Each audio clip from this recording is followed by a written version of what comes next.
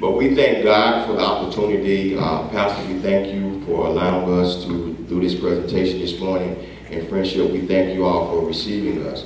So we want to make sure that we establish protocol. We give honor to God. We give honor to our pastor, First Lady, and his family, to the deacons and officers of this great church, and to any clergy that may be present and their wives in their positions, and to the ecclesia, the called out, the ones who have formally gathered here today, the believers.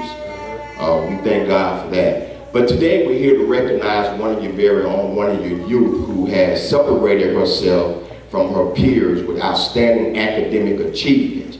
And so Mount Calvary, which you all are associated with, contributed to the fact that we were able to uh, reward three students of Mount Calvary, 32 churches, we were able to award 500 $500 scholarships.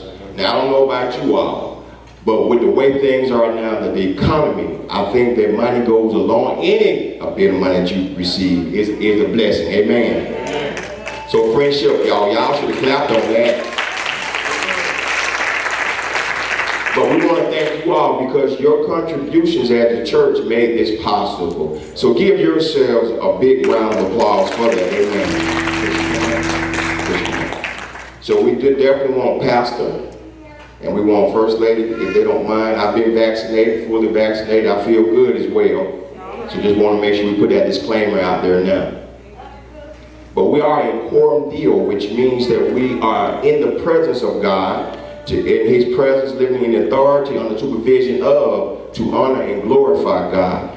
But we just want to recognize Lexus who has uh, has earned a scholarship. It was not given to her, she earned it and she applied for it and she's a recipient of that.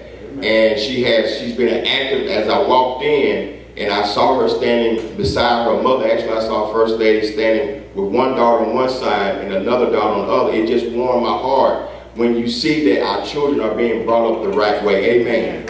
So it just warmed my heart to see that.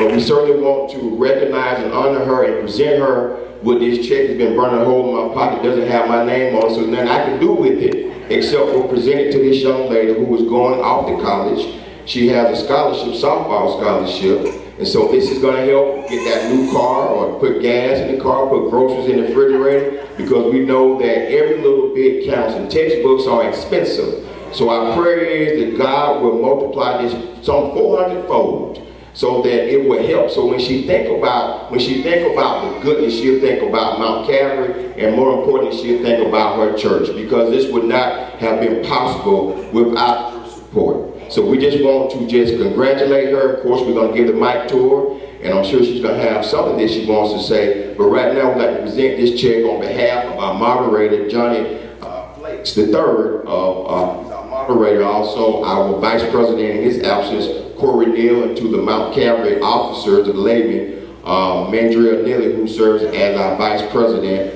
And we want to present this to you today. And we pray to God that uh, it will definitely benefit you as you transition or matriculate into college. Amen. Congratulations. Yes, ma'am.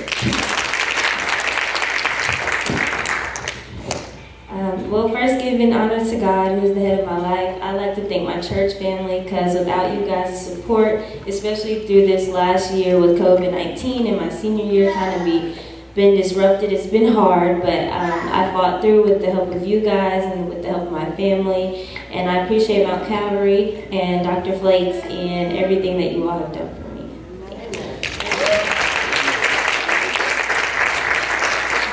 Now we know that uh, we know that Pastor, your pastor sits as an officer for Mount Calvary. So at this time, he's standing as a proud father. So we know that, that the proud father, and we know the mother may want have something to say as well, so we would just want to hand the mic over to them and, and give them opportunity to say a little something as well. To God be the glory. Amen. Thank God for Dr. Forte. And again, I want to thank God for Dr. Flakes for uh, the recognition of our young people. And I'm just grateful for Alexis. And again, as I've stated before, friendship with the prayers of the righteous, I know God will do for her uh, those things that she cannot do for herself. Amen. So keep her in your prayers. She's going a long way off, but not too long that I can't get there. Amen. I've told everybody if I have to, I, I tear South Carolina up if something happens to my baby. Amen.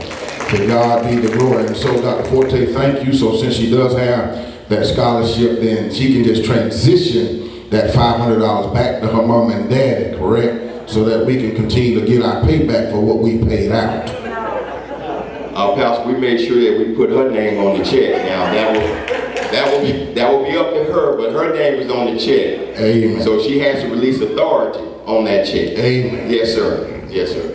So again, to God be the glory. Thank you so very much. We're out of the way. Uh, we all give Dr. Forte and Alexis another hand of celebration.